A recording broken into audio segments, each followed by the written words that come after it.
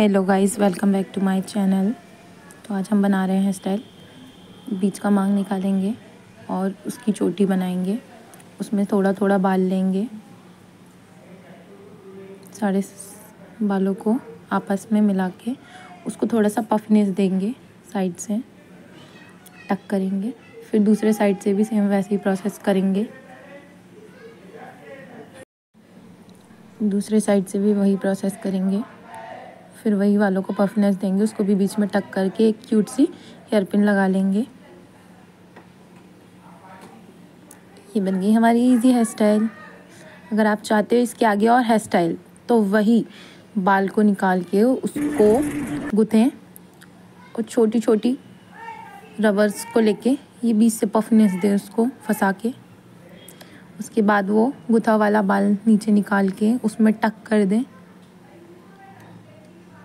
ये बन गई हमारी ब्यूटीफुल हेयर स्टाइल अगर आप चाहते हो तो आप इसे कर्ल भी कर सकते हो। कर्ल में ये बहुत ब्यूटीफुल लगेगा। पर मेरे कस्टमर को ऐसा नहीं चाहिए था।